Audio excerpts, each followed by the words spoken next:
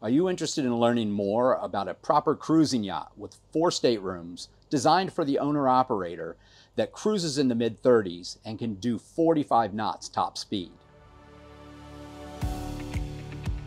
I'm Captain Greg for Boat Test, and I'm delighted to be on the Valder Yachts The Keys model.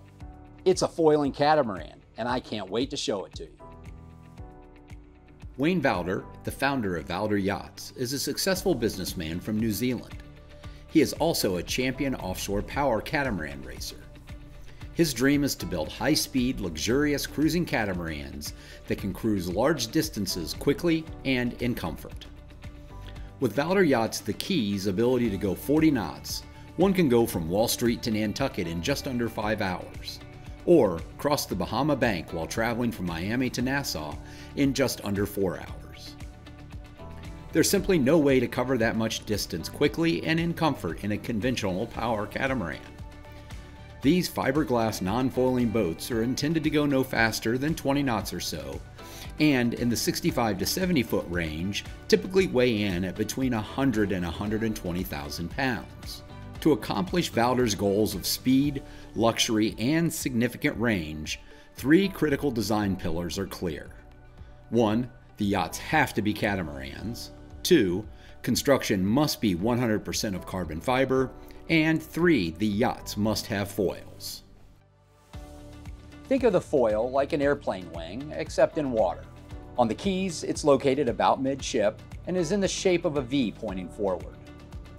As the yacht increases in speed, the foil begins to work, lifting the bow of the boat out of the water.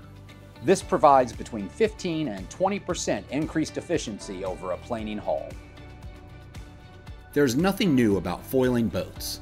The first foiling boat was designed and built in the 1860s. Alexander Graham Bell built several foiling boats, including the infamous HD4 Hydrodrome, that broke the 70 mile per hour barrier in 1919.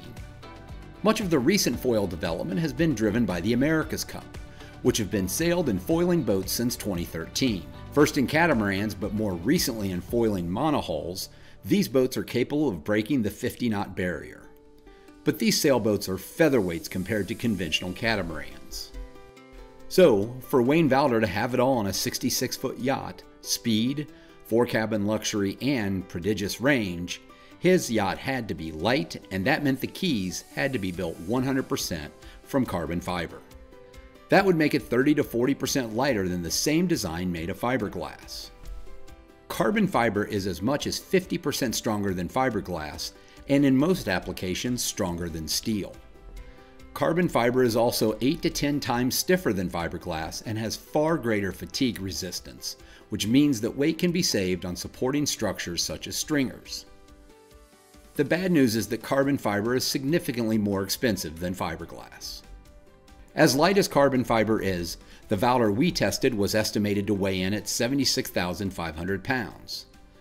To propel the yacht to speeds where the foil can reach maximum efficiency, Valder installed twin MAN 1300 horsepower V8 engines, which have an excellent power to weight ratio. Here we see a video of one of the boat's first test runs in Valder's native New Zealand. For a cat to go fast, it needs to be on foils. Between the hulls is a V-shaped carbon fiber foil which starts lifting at about 17.5 knots. The Humphree interceptors on the hulls automatically trim the boat so it's under control at all times. As you can see, the keys does not rise completely clear of the water, but look closely and you can see that how far and how far back the hulls are out of the water.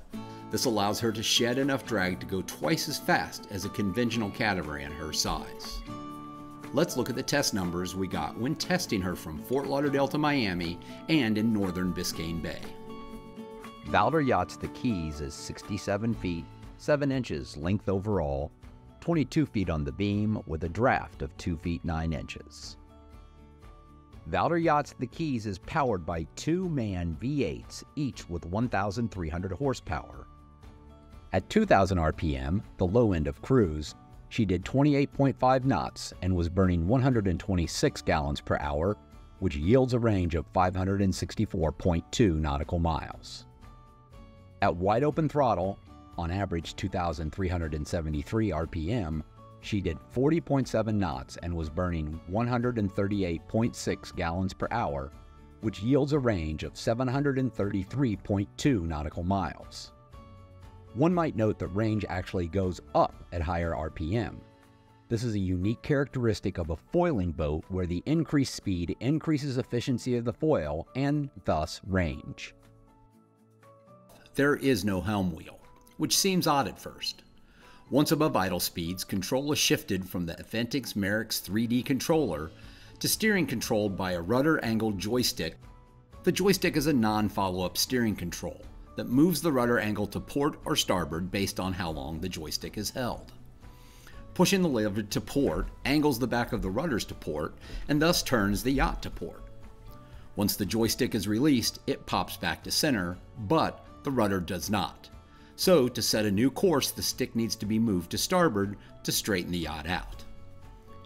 Given the non follow up aspect of the joystick, knowing rudder angle is a critical element in handling the yacht. Rudder angle is displayed constantly on two different points at the helm station.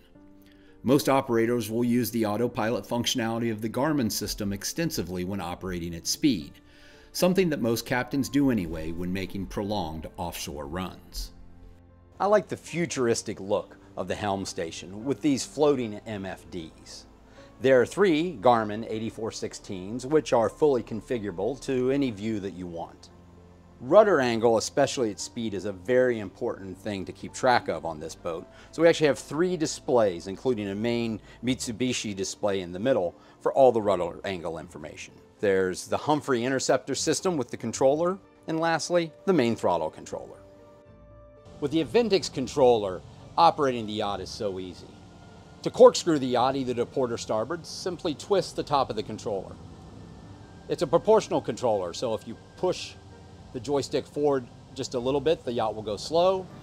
Bump it forward even further, and the yacht goes faster. Now, you can operate with the normal throttles and just the thruster if you so desired, but it's so easy to use this control. One thing of note, the distance between the props is much greater than any monohull. Therefore, the amount of yaw or turning that you can get on the boat is dramatic. But like with anything in docking, go slow with small inputs. You'll get used to it in no time. Now I've switched from joystick mode to command mode. In this mode, a bump of the throttle into forward or reverse creates a significant amount more thrust. The controller also has a trolling mode, which can be used when you want to go slower. With the trolling mode engaged, we're doing just over two knots in a slight incoming tide. With the trolling function off, the boat idles at just about seven knots. The Keys has a tender garage. To access the top deck, there's a two-part ladder. The lower part easily clicks into place next to the refrigeration units. Pull a pin on the upper part of the ladder. The bottom flips down, locks into place, and a pin locks it. Now we're ready to go to the top deck. Here we are on the top deck of the Keys. Now you'll notice the big H. It is designed to be able to have touch and goes from a mid-sized helicopter. You could also strap a helicopter down here as well, but you probably don't want to have her here when you're doing 30 or 40 knots. This space can also be reconfigured to hold a larger tender or perhaps a series of jet skis. Now let's look at another aspect of this yacht. I'm here in the battery compartment in the middle of the saloon. What's housed in here are five Mastervolt lithium ion batteries. Each one of them is 24 volts and has 200 amp hours. The way this works is the electrical power that comes in from the shore goes into a series of Mastervolt chargers that powers these lithium batteries to give them a full charge. Everything on the boat, with the exception of two things, the saloon air conditioning and the water maker, are powered by these lithium batteries. Future models will have everything on the boat powered by these lithium batteries, making it a much more environmentally efficient solution than having to run a generator. Access to both engine rooms is through a hatch on the aft cockpit, supported by two gas struts. Being a catamaran, there are two engine rooms. There's full height headroom in here. And the most important thing after the V8 MAN diesel is the easy to reach raw water intake through hole, which is right here in the walkway. I particularly like the glass plate on top of the sea strainer with five wing nuts. Ford is the ZFE drive. Note the stuffing box is easy to reach. The port engine room is a mirror of the starboard engine room with just a couple of differences. Up front, there's two Fisher Panda 15 kilowatt generators. The combination of the foiling technology and the carbon fiber construction allow this boat to do the things that it does. The exciting thing about the high-speed Valder Cruising Cat is that she is the largest foiling cruising catamaran in the world. She, along with a couple of much smaller cats, are starting a whole new class of yacht, the Foiling Cruising Power Catamaran. In addition to her performance, because she is a semi-custom boat, new owners can configure most anything they want within this remarkable hull. For Boat Test, I'm Captain Greg, reminding you life is better on a boat.